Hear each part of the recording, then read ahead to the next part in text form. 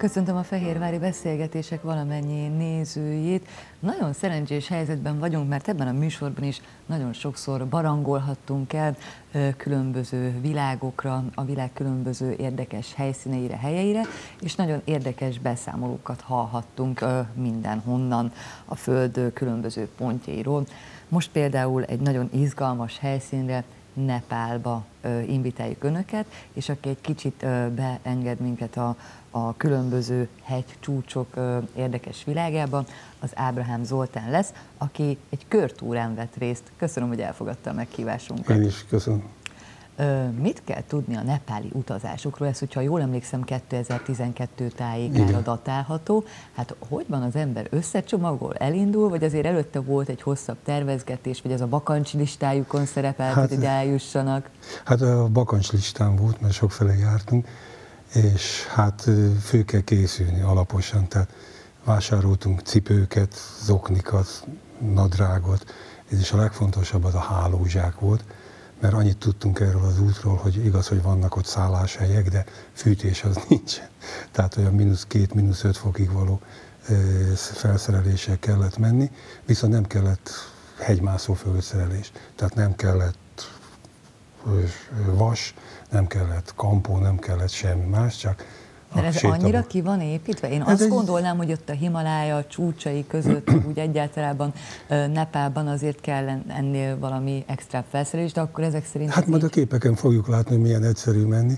Ez tulajdonképpen ugye Edmond Hillary, aki megmászta a 53. május 29-én a Monteverestet, ő nagyon megszerette a nepáli népet.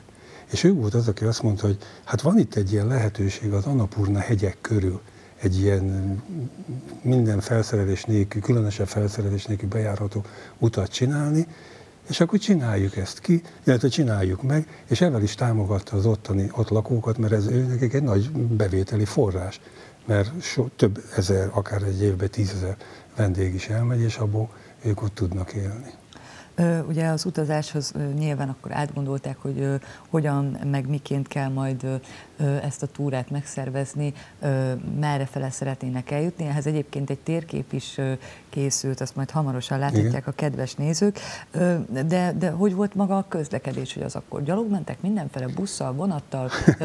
Kezdjük az elején, először is Budapestről repülővel mentünk Dubajon keresztül Nepálra, hát ez egy jó 4 plusz 3 ezer kilométeres út volt, és ott Nepálba az első szakaszt azt autóval tettük meg, busszal, illetve terepjárókkal, de a második naptól kezdve már csak gyalog, amíg föl nem értünk a csúcsra, illetve hát némi segítsége, és visszafelé megint autókkal jöttünk, tehát a térkép alapján tudtunk tervezni, hogy mikor, hova jutunk el, és mennyi időt tudunk ott tölteni.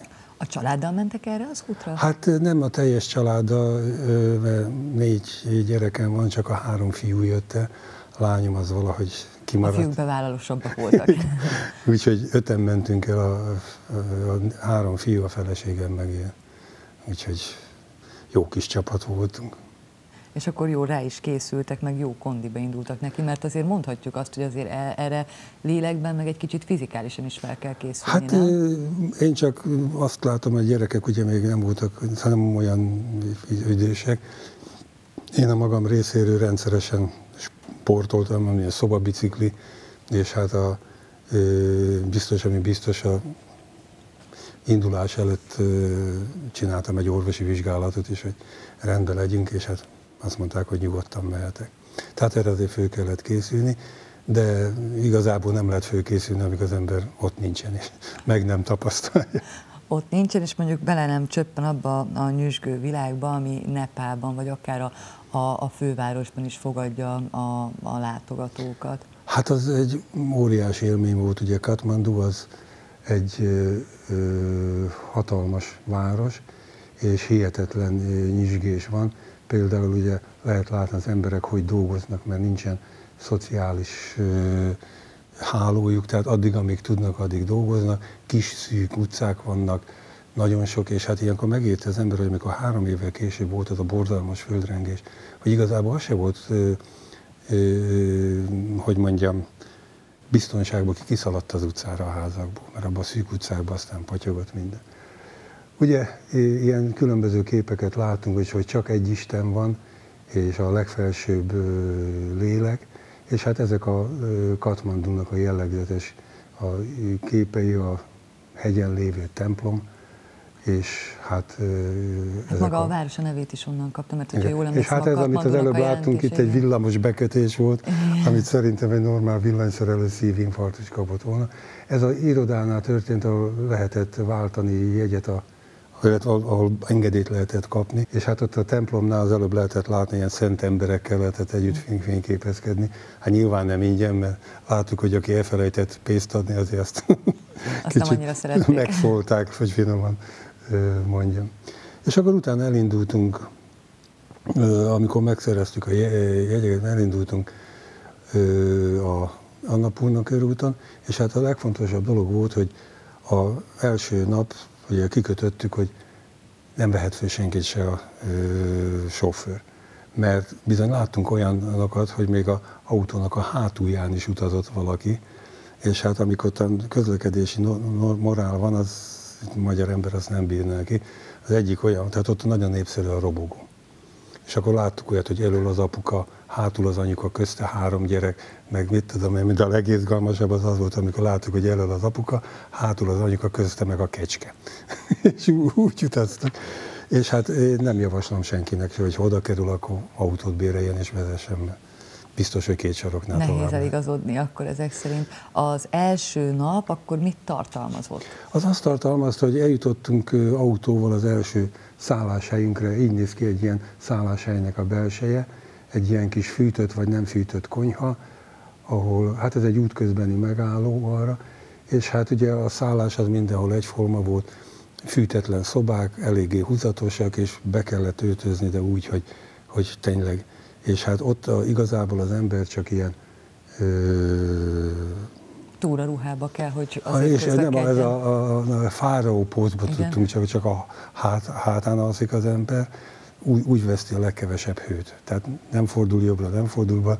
Úgyhogy amikor hazajöttünk, annak még hónapokig én is így a hátamon tudtam igazán nyugodtan aludni, mert ez ennyire takarékoskodni kell a, az energiával. És akkor ez volt az első nap, amire az első napot ö, szánták, és akkor második nap merre fele ö, vitte az útjuk mm, ezen a körutazás? Hát men, egy pillanat, hogyha mentünk tovább, innentől már csak gyalog mentünk, és úgy próbáltuk ezeket megoldani, hogy mindig csak egy megfelelő mennyiséget emelkedjünk. Tehát ez volt a 15 kilométer gyalogoltunk, 8 órán keresztül. És emelkedtünk egy olyan 1200. Na jó, de a látvány, vagy a képeken is láthatják a kedves nézők, azért kárpótolt mindenért, nem? Igen, hát azért ez a keresztmetszete a, a Anapurna körútnak, és hát nagyon, hogy mennyire kiépítették ezt, rengeteg ilyen függőhiddal találkoztunk. És itt is lehet látni, hogy ezt az utat most vágták ki a gerincnek az oldal, a hegynek az oldalába. Így nézett ki egy ilyen ház, ház, ahol voltak szobák, ahol lehetett aludni, de mondom, ezek teljes fűtésszigetelés minden nélküli is dolgok voltak. És akkor úgy volt, hogy elindultak ugye ezen a körúton, ezen a körtúrán, és mondjuk minden nap útközben szálltak meg éppen, Igen. ahol adódott a lehetőség. Igen, hogy betervezzük, hogy körülbelül hova fogunk eljutni, mert ugye arra vigyázni kellett, hogy ne ö, emelkedjünk sokat, ne menjünk sokat, mert azért a, a mm, levegő, meg a súly, amit cipeltünk, az 17-18 kiló volt, azért az nem engedte meg azt, hogy itt nagyon-nagyon szaladgáljunk. És hát ezek egy teljesen kiépített hálózat, szinte minden helyen ugyanaz a étlap, ugyanaz a ellátás, ugyanaz a dolog, és hát némely szálló ugye avval reklámozta magát, hogy külön fürdőszoba, meg meleg víz. Na most ez azért volt érdekes, mert a többi helyen nem csak pottyantós, hanem célzós WC-k voltak, ami egy angol vécén szocializálódott embernek néha problémát. Kihívásokat jelenthet, akár fogalmazhatunk Igen, tehát így is. nehézséget okozott. Hogyha most így a harmadik nap fele kacsingatunk, akkor mi volt ott a legemlékezetesebb pillanat, hogyha egy-kettőt így ki tudná emelni? Hát tulajdonképpen mindig az, amikor megtapasztaltuk, hogy, hogy milyen ö, dolgok vannak, hogyan kell viselkedni. Például, amikor már elértünk, hogy 3500 méter magasra, ahol egy akklimatizációs napot tartottunk, ez azt mondom a negyedik nap voltán, ott bizony észrevettük azt, hogy vizet inni az egy nagy kihívás. Nem azért, mert nem volt víz, meg hogy nem volt tiszta, tehát mindig tisztítottuk a vizet. Ja, itt a gyerekekkel találkoztunk, és adtunk nekik ilyen játékautót, hanem azért, mert amíg ittam a vizet, hiányzott az a levegő, amit akkor addig kellett volna bevenni. Nem tudom, lehet, hogy lesz itt mindjárt egy táblázat, ahol a oxigén tartalmat mutatják a magasság függvényébe. 3500 méternél már hiányzik a több, mint az egyharmada az oxigénnek. Hát akkor az megvisel igen, igen csak a szervezetet, nem? Hát igen, szóval nem mentünk gyorsan, nem mentünk sokat, és nagyon sokat pihentünk, hogy, hogy és hát ugye ettük, amit ott lehetett kapni. Az egyik ilyen nagy élményem volt az a nepáli kenyér, az gyakorlatilag nem megy, mint egy jó vastag lángos, egy jó olajba kisütve, amit csöpög az egész az olajtól, és rajta van három kar, tigris karomnyom, és attól Nepál. Na nézzük a negyedik nap képeit, és közben azért azt megkérdezném öntől, hogy, hogy ugye említette, hogy folyamatosan gondoskodtak a víztisztításról, akkor ez egy ilyen külön feladat is, hogy odafigyeljen az ember. Persze, ez úgy volt, hogy vittünk magunk elegendő palackot, és akkor voltak ilyen vízvevő helyek, amelyek nem tisztított vizet adtak, hanem mi vittünk magunkkal ilyen kis tablettákat, ahol, amiket megfelelő ideig ben kellett tartani a vízbe, és ezt ugye számon kellett tartani, hogy ihatjuk el. Például ez egy nagyon jellegzetes dolog, megérkeztünk egy, na, itt foglalkozok a vizes edénnyel, vagy egy fensígon, az előző képen lehetett látni, hogy megérkeztek a útszéli jak bontó mesterek, és így a hátukon cipelték be, ilyen dolgok voltak. Ez, ez olyan teljesen természetes volt számukra. Itt azért már lehet látni, hogy ott vannak a háttérben a magas hegyek, és hát az ember nem tudja megmondani, hogy melyik milyen magas.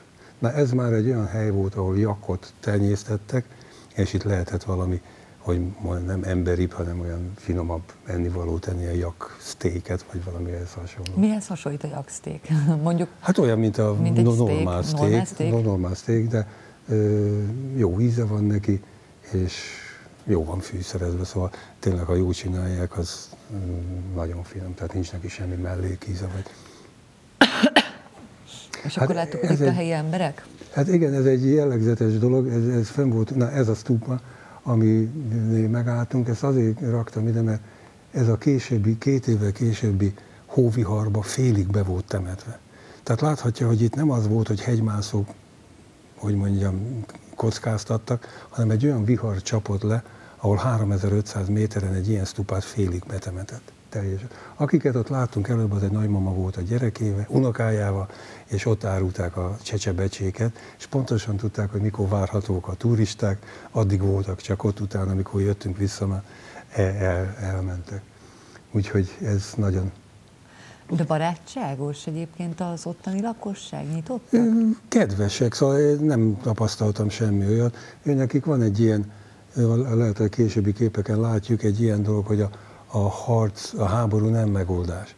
És akkor van ott, hogy két ember áll egymás szembe, és akkor utána harcolnak, a másikon két ember áll egymás szembe, és megölegilik egymást. Tehát ez egy, tényleg ez a filozófiájuk. Nagyon kedvesek, jó. El lehetett már, amennyire tudtunk velük beszélgetni, és ezek a serpák is. Hát azok valami csodálatos nép. A mi ottan, amikor megálltunk, és majdnem kikörögtük a tüdőnket, és ők is jöttek, megálltak, és rágyújtottak.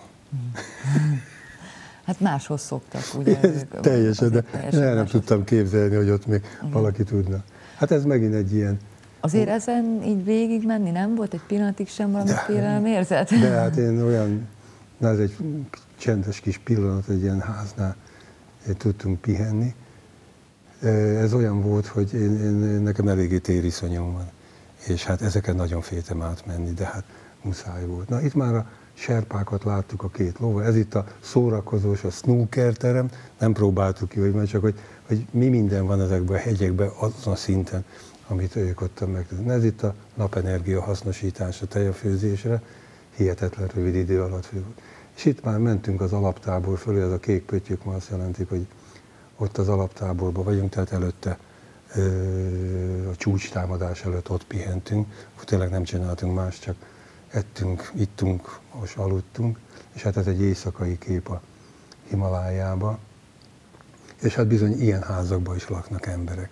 Ez nem egy átmeneti valamit. Na, ő a, hanem ez az ő otthon. Igen, ez a, ő a, ő, na, Snow Monkey, a hómajom volt a serpánk, aki nagyon ügyes és nagyon rendesen csinálta a dolgokat.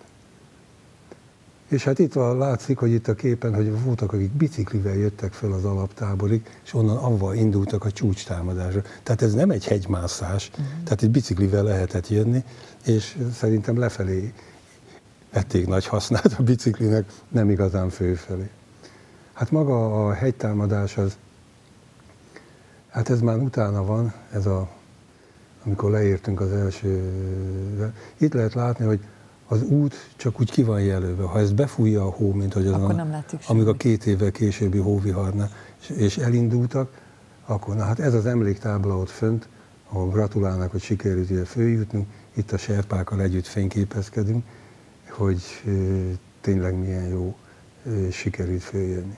Na hát itt, amikor a hegyre jövünk föl, itt minket fölraktak a lovakra, feleségemet meg engem, nem nagyon örültem neki, jobb lett volna. Itt a három fiú, amikor elindultak külön a csomagokkal. A... Na ez már a hegytámadás utáni rész, amikor vége volt mindennek. Itt az a kép, amit mondtam, hogy a háború az nem megoldás. És hát avval a kis zöld busszal, amivel mentünk, hát az valami szörnyű volt. Ez a nepáli méretekre volt kitalálva, de ez azt jelentett, hogy én a hátsó ülésen is bevertem a fejemet a plafonba, és a sofőr volt olyan kedves, hogy három órán keresztül, amíg mentünk, üvöltette a diszkót. De ó, szóval nem egy high volt, de ők úgy gondolták. És innen, amikor mentünk tovább, akkor történt az a dolog, hogy megérkeztünk a kijelölt szálláshelyre, de ott teli volt. És akkor béreltünk egy, ter, egy terepjárót, hogy menjünk tovább, mert el kell érni egy másik szállást, és ezzel a terepjáróval mentünk este 10 óra felé, mert olyan késő volt, úttalan utakon zörgött, csörgött, csattogott minden, és egyszer csak úgy puf, megállt az autó egy nagy zörgés után, a sofőr szépen lassan visszatolatott, kiszállt, előre ment, és visszajött kezébe a kardán tengelye. Mm. Ott a izének a Himalája közepén, de aztán volt egy 10-15 perc egy gyalogútra egy kis fogadó, de hoztak oda egy ilyen tartalékautót, avval minket elvittek az úti célhoz, de hát az, hogy ott mi kardán tengely a kezében megláttuk a sofőrt, az nagyon elkeserített. Hát utána onnan mentünk lefelé, de az már ilyen teljesen normál út volt. Elérkeztünk Pokarába, ahol végre tényleg mm, nem azt mondom, hogy emberi, hanem hogy európai körülmények közé kerültünk, és hát az ott nagyon, nagyon jó volt. És annyira érdekes volt, hogy ott ugye eltöltöttünk egy napot, és annyira, hogy mondjam, belefásultunk abba 10-12 napos gyaloglásba, és utána mindenki úgy emlékezett vissza, hogy Pokarában legalább három napot voltunk, mert olyan sok mindent történt velünk. Hát ez a szokásos, amit úton útféle lehet látni, hogy fölboncolják az állatokat, ez, egy, ez már a pokarai rész, Hát azért látszik, hogy nagyon mozgalmas, nagyon, nagyon színes, látványos, tényleg egy ilyen vonzó turisztikai ö, célpont valóban Nepál, aminek hát kétségtelenül, hogy azért a Himalája, a hegymagaslatok, a, a csodálatos környezet adja meg valószínűleg a vonzerejét, Igen, hát nem? hát az tényleg csodálatos volt azok a mondjuk, hogy én alföldi gyerek vagyok, de mondjuk, hogy Fehérvár se magas hegyi település, de az tényleg egy olyan, olyan élmény volt. Én mindazonáltal azt mondom, hogy nagyon jó meg kell gondolni a, hát itt a beszállás már a repülőgépen, nagyon jó meg kell gondolni, és nem árt, ha valami vezetőt visz az ember, mert azért utólag úgy hallottam, hogy azért 3500-4000 méter környékén már azért nem árt, hogyha van valami tapasztalt vezetője az embernek, függetlenül attól, hogy milyen fizikai állapotban van. Szóval ilyen szempontból Nepál azért egy nagy élmény volt, tehát a városokban az a vallási sok, sokszínűség, a gyönyörű épületek, templomok, és magában a hegyek közt, hogy látja az ember, hogy milyen körülmények közt élnek egyesek, és hogy milyen ö, dolgok közt tudnak életben maradni, és nem szomorúak, szóval ö, vidámak, jókedvűek, mint az a nagymama ott az unokájával, és hát úgy nagyon jó el voltunk. Mm, igen, és, és hát gondolom, hogy, hogy mindaz, amit említett is, a, a, nem csak a, a környezet, hanem tényleg az a sokszínűség, ami ott van, akár az emberek karakterében, akár a vallásban, akár a kultúrában, azért egy ilyen, tényleg egy ilyen különleges, különleges talán exotikumot ad az egészhez, hát nem? Igen, tehát például az, hogy a, mindenhol vannak ezek a kis háromszögű zászlók, ezeket nem biztos, hogy mindenki tudja, ezek az imazászlók. Ezzel szinte minden, ami van, az be van vonva, madzagon ott lógnak, gyönyörűek, és ugye Nepál az egyetlen ország, amelyiknek nem négyszög alakú a zászlója, hanem két-háromszög. Az egyik, a, a, a háromszög az azt jelenti, hogy a hegycsú, hegyek miatt a két-háromszög, és a két vezető vallásnak a jelképe van ebbe a két háromszögben benne, és ez nem egy négyszöglet. A másik pedig az, hogy olyan érdekes volt, hogy nagyon sok falun, amin keresztül mentünk, hosszabb, rövidebb imamalmok voltak.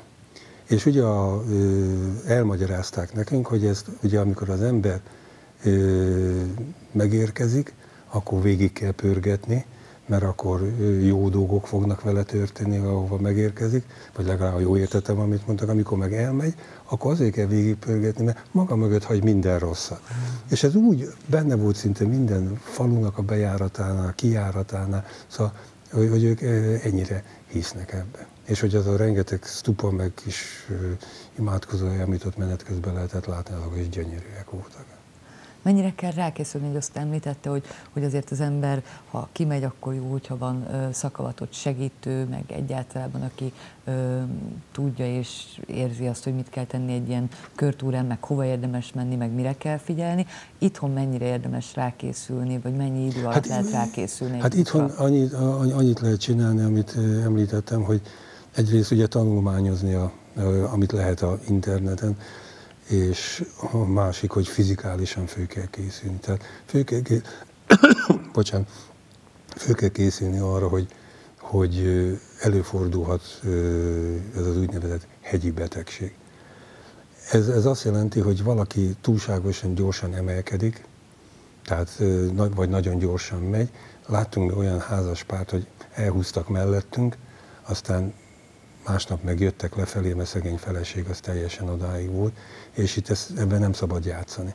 Tehát, hogyha valakit elkapott a hegyi betegség, nem tudja, hol van, fáj a feje, kihagyja emlékezete, minden. Egyetlen egy megoldás van, le kell menni, amennyire csak tudnak, és ott normális oxigéni levegőbe kell kerülni. Erre fő kell készülni, hogy ez benne van. Ez nem attól függ, hogy az ember mennyire sportolt, vagy nem mennyire nem sportolt. Ez, ez egyéni adottság és erre reagálni kell. Meg hát amit említett, hogy nyilván a higiéniára oda kell figyelni, street food az olyan vonzó az embernek, de azt szokták általában azért tanácsolni, hogy nem érdemes próbálkozni utcai ételárusítók, de nem tudom, hogy önök például... Nem, nem, nem, nem, nem próbáltuk meg, nem próbáltuk meg, és volt egy apró titkunk az, hogy a Dubai repülőtéren, amikor mentünk ki, vettünk három liter Johnny Walker. Muszáj fertőtleníteni. Igen, ez az volt, hogy ugye reggel, reggeli előtt este lefekvés előtt egy-egy ilyen kis kupicával mindenki megivott, egyrészt jó kedvre derített, másrészt meg elvégezte azt a fertőtlenítési dolgot, ami, a, ami nagyon fontos volt, mert meséltek olyanokat, hogyha valakit elkapott ez a hasmars, az, az valami szörnyű volt. 50 méterenként ugrott a bokorba a, a túrázás helyett. Szóval ezekre fők, és ezeket be kell tartani, nincs más. És ugye jó melegen kell öltözni, mert avval nem lehet mit kezdeni. Igazából a, a jó ö, túra időpont a, erre az Anapurnára, ez az október környéke, kivéve azt a két éve későbbi esetet, amikor lecsapott az a borzalmas hóvihar, mert ekkor jó az idő, nem volt nagyon eső, nem voltak szelek, szóval olyan, olyan ez, ezt is meg kell nézni. Ott a bejáratnál volt egy ilyen regisztrációs tábla, és láttuk, hogy azért Magyarországról vannak látogatók, de hát évente 5-8 legfőjebb. Újra neki vágna? Hát azt hiszem nem. Nem? Nem. Nagyon jó emlékeket fűzött, hozott, de ö, valahogy a, szóval, a, kívül, nagyon kívül, szóval akkor úgy elfogadtam, de most nagyon kívül lennék a komfortzónában és az, az, az, az, az, az nehezen tudnám elviselni, de nem bántam meg, hogy elmentünk. Tehát nagyon örülök neki, hogy ezt sikerült így megcsinálnunk a gyerekekkel egyet. Mi pedig örülünk, hogy megosztotta velünk ezeket a csodálatos képeket és az emlékeit. Remélem, hogy tetszettek, és Köszönöm tudják szépen, használni. hogy itt volt. Én is. Nézőinknek pedig megköszönöm a figyelmüket, fehérvári beszélgetésekkel természetesen holnap is várjuk Önöket itt a Fehérvár Televízióban. Kellemes időtöltést, viszontlátásra!